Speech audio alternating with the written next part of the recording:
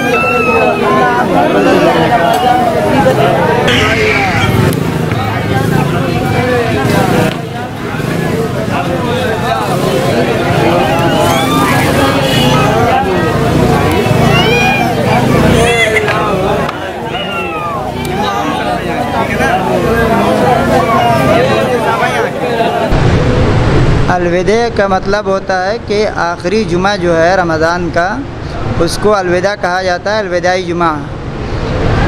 अलविदा का वैसा मतलब होता है कि आखिरी तो कोई भी चीज़ आखिरी हो, उसको अलविदा कह सकते हैं। चूँकि रमज़ान के महीने का यह आखिरी जुमा होता है, इसको, इसलिए इसको अलविदा कहते हैं। लेकिन शरीयत में इसकी कोई अलग से खसूसियत नहीं है। जैसे और जुमा है, वैसे ये भी जुमा है। जैसे तीन जुमा गुज़रता है, वैसे आखिरी जुमा भी है। अल्लाह के नबी सल्लल्लाहु अलैहि वसल्लम से या सहाबा से या और कराम से, इसमें कोई खसूसियत के साथ अमल मनकूल नहीं है। और जैसे और जुमा मनाया जाता है, और जुमे में नमाज़ होती है, वैसे अलविदा की भी नमाज़ होती है। अलविदे की नमाज़ में कोई फ़र्क नहीं है, जैसे और जुमा होता है, वैसे अलविदा का जुमा होता है। जैसे और ख़ुतबा होता है, वैसे ही अलविदा का ख़ुतबा भी होता है। अलविदे का ख़ुतबे में भी कोई अलग सी चीज़ नहीं है। बाज़ लोग जो है अलविदे के ख़ुतबे में बाज़ अल्फाज अपनी तरफ़ से बढ़ाते हैं कि अलविदा अलविदा, वल फ़िराक या शहर रमज़ान, इस तरह का। तो ये सब बढ़ाना अपनी तरफ़ से, ये बिदात है और ये इस्लाम का तरीक़ा नहीं है। और असल चीज़ यही है कि जैसे आम जुमा है, वैसे ये भी जुमा है। इसकी कोई खसूसियत नहीं है। अल्लाह के नबी सल्लल्लाहु अलैहि वसल्लम रमज़ान के आखिरी आशरे में इबादत का बहुत अहतमाम करते थे, रातों को जागते थे, अपने घर वालों को जगाते थे। हमें भी इसी का अहतमाम करना चाहिए कि पूरे रमज़ान को इबादतों में गुजारना चाहिए, ख़ास तौर से आखिर आशरे को इबादतों में गुजारना चाहिए और अलविदे के लिए कोई अलग से तैयारी नया कपड़ा, नया जोड़ा, इसका अहतमाम करना, ये सब इस्लाम का तरीक़ा नहीं है, ये सब गलत है। इसको नहीं करना चाहिए, जो करने की चीज़ है, वही करना चाहिए।